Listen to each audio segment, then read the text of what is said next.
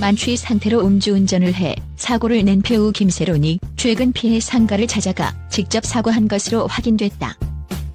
소속사 골드메달리스트 측은 24일 김세론이 피해를 입은 상가들을 찾아가 직접 사과했으며 정전 등으로 인한 피해 보상도 마무리 단계라고 밝혔다. 보상액 등 구체적인 내용에 대해선 말을 아꼈다. 앞서 김세로는 지난달 18일 오전 8시쯤 서울 강남구 청담동 부근에서 음주운전을 하다 가로등과 가드레일 등을 여러 차례 들이받아 공공기물을 파손하는 사고를 냈다.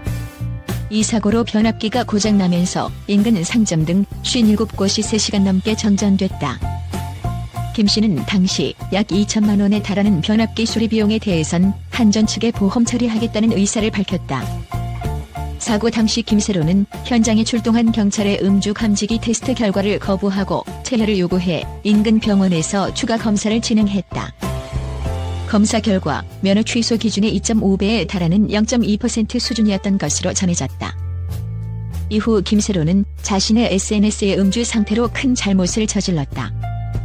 잘못된 판단과 행동으로 주변 상가 상인, 시민, 복구해준 분들 등 너무나도 많은 분들께 피해를 끼쳤다라며 더 신중하고 책임감 있게 행동해야 했으나 그러지 못했다.